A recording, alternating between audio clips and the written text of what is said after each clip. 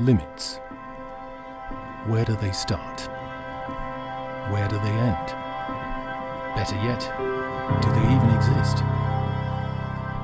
It's not a question of science. It's a question of willpower, of desire.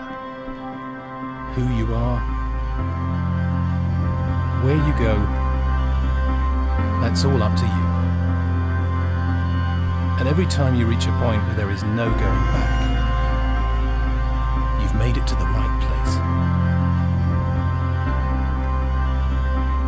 There is no past. There is no future. And there are certainly no limits.